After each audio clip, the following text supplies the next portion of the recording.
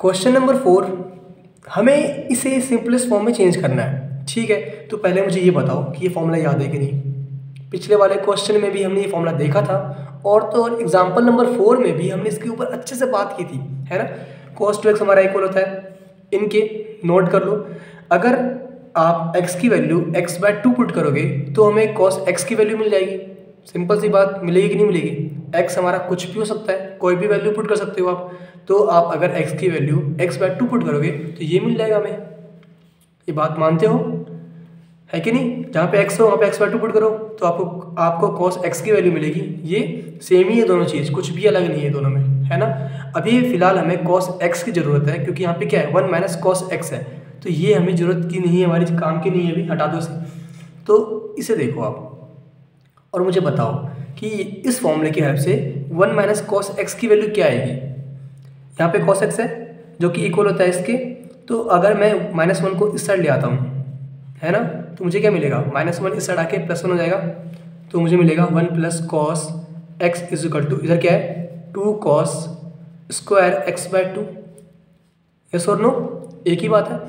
अगर मैं इसकी और इसकी बात करूँ तो इधर देखो, यहाँ पे क्या है? One minus two sine square x by two है। कॉस एक्स को इस साइड ले आओ। और two sine square x by two को इस साइड ले जाओ तो हमें क्या मिलेगा? वन माइनस कॉस एक्स आएगा इधर तो minus cos x is equal to two sine square x by two yes और नो एक ही बात है है ना? बस हमने एक को उस साइड ले गए, दूसरे को इस साइड लिया है। ठीक है ना? तो ये मैं पुट करने वाला हूँ यहाँ पे। तो पुट कर दूँ? तो मुझे क्या मिलेगा यहाँ पे?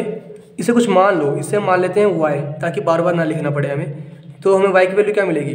टेन इनवर्स ब्रैकेट के अंदर अंडर रूट इसकी वैल्यू है हमारे पास वन माइनस कॉस एक्स की two sine square x by two तो two sine square x by two upon में नीचे क्या आएगा? Two cos square x by two कहाँ से आई वैल्यू है ये? यहाँ से आई। ठीक है? तो टू से टू कैंसिल तो हमें क्या मिला? Y equal to tan inverse under root के अंदर sine square x by two upon में cos square x by two मतलब tan square x by two ठीक है? कोई दिक्कत? स्क्वायर से अंडर रूट कैंसिल तो हमें क्या मिल जाएगा?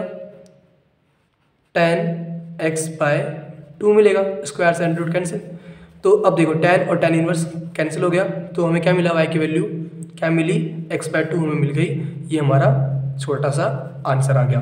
ओके और आपको याद कर रखना है ये याद रखना है। ठीक? चाहो तो नोट कर लो और इसे भी नोट कर लो। ताकि जब भी ये देखो ना वन माइनस कॉस एक्स और वन प्लस कॉस एक्स तो सीधा हमारे दिमाग में आ जाए कि ये इसके इक्वल होता है, ये इसके इक्वल होता है। ठीक है?